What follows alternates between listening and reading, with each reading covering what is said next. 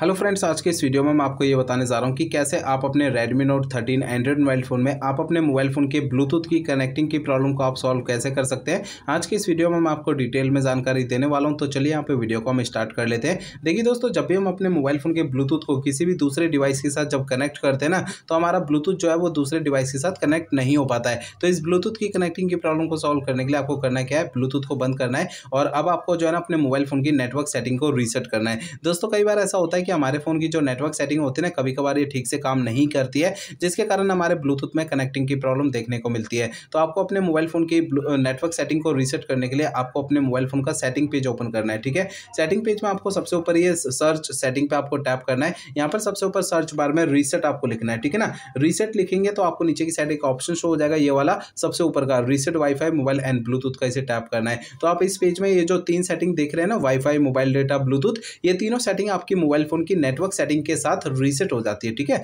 आपको नीचे की साइड ये रीसेट सेटिंग का ऑप्शन टैप करना है। अब आपको इस छोटे से पेज में ओके का बटन टैप करना है। तो आपको जो है नीचे यहाँ पे लिखा हुआ आ जाएगा, ये देखिए network setting have been reset इस तरीके से आपको है ना मोबाइल फ़ोन की नेटवर्क सेटिंग को रीसेट करना है, जिससे आपके ब्लूटूथ की जो कनेक्टिंग की प्रॉब्लम है ना, वो आपकी सॉल्व हो जाएगी, ठीक है? अब दोस्तों, यहाँ पर आपको अगला प्रोसेस करना ही है कि मोबाइल फ़ोन को ना रिबूट करना है। फ़ोन को रिबूट करने के लिए आपको फ़ोन के साइड वाला पावर बटन उंगली से दबा के रखना है। आपकी स्क्रीन के सामने ये वाला पेज आता है, इसमें आपको रिबूट का ये ऑप्शन टैप करना है। इससे क्या होगा, आपका मोबाइल फ़ोन जो है वो ऑटोमेटिक स्विच ऑफ़ हो जाएगा। फिर इसके थोड़ी देर बाद ऑटोमेटिक स्विच ऑन हो जाएगा। रिबूट करने से ये होता है। हमारे मोबाइल फ़ोन के एंड्रॉइड सिस्टम में अगर कोई प्रॉब्लम आ जाती है तो वो प्रॉब्लम जो है सॉल्व हो जाती है मोबाइल फ़ोन को रिबूट करने से। ठीक है ना?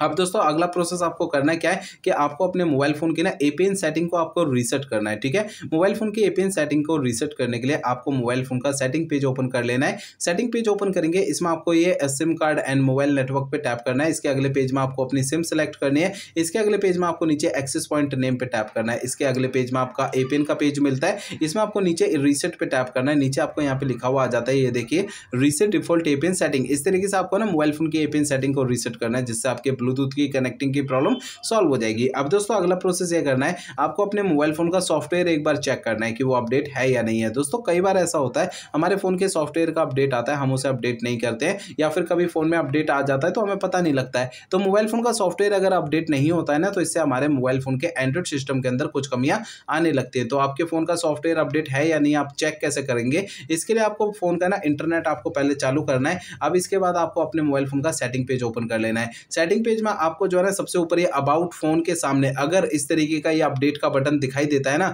अगर ये अपडेट का बटन दिखाई देता है, तब आपको इसे टैप करना है। इससे आपका फ़ोन का सॉफ्टवेयर जो है वो अपडेट हो जाएगा और आपके ब्लूटूथ की कनेक्टिंग की प्रॉब्लम जो है वो सॉल्व हो जाएगी। अब दोस्तों, अगला प्रोसेस ये करना है कि मोबाइल फ़ोन को रीसेट करना है। मोबाइल फ़ोन को रीसेट आपको तब करना है जब मेरे बताए हुए पिछले प्रोसेस कोई भी काम नहीं करते तब आपको फ़ोन को रीसेट करना है अदरवाइज़ नहीं करना है। फ़ोन को रीसेट करने के लिए फ़ोन का सेटिंग पेज ओपन करिए। सेटिंग पेज में सबसे ऊपर सर्च सेटिंग पे टैप करना है। यहाँ पर सबसे ऊपर सर्च बार में रीसेट आपको लिखना है। रीसेट या फिर फैक्ट्री रीसेट इन दोनों में से एक लिखना है। आपको नीचे फैक्ट्री रीसेट का ऑप्शन होगा, इसे टैप करना है। आपको फैक्ट्री रीसेट के इस पेज में सबसे नीचे इरेज ऑल डेटा पे टैप करना है, इससे आपका फ़ोन रीसेट हो जाएगा और आपके ब्लूटूथ की कनेक्टिंग की प्रॉब्लम सॉल्व हो जाएगी। लेकिन आपको फ़ोन को रीसेट करने से पहले दो बातों का ध्यान रखना है। पहली बात ये ध्यान रखनी है, आपके फ़ोन में जितना भी डेटा सारा डेटा आप किसी दूसरे फ़ोन में ट्रांसफ़र कर लीजिए या उसका बैकअप ले लीजिए। दूसरी बात ये ध्यान रखनी है, आपके फ़ोन की जीमेल आईडी और उसका पासवर्ड आपको पहले से नोट करके रखना है। ये दो काम आपको पहले करना है, उसके बाद आपको फ़ोन को रीसेट करना है, ठीक है? तो मेरे बताए हुए सारे प्रोसेस आपको यूज़ करने से आपके ब्लूटूथ की कनेक्टिंग की प्रॉब्लम सॉल्व हो जाएगी। अगर मेरे बताए हुए सारे प्रोसेस यूज़ करने के बाद भी आपकी ये प्रॉब्लम सॉल्व नहीं होती है तो आपको करना क्या है?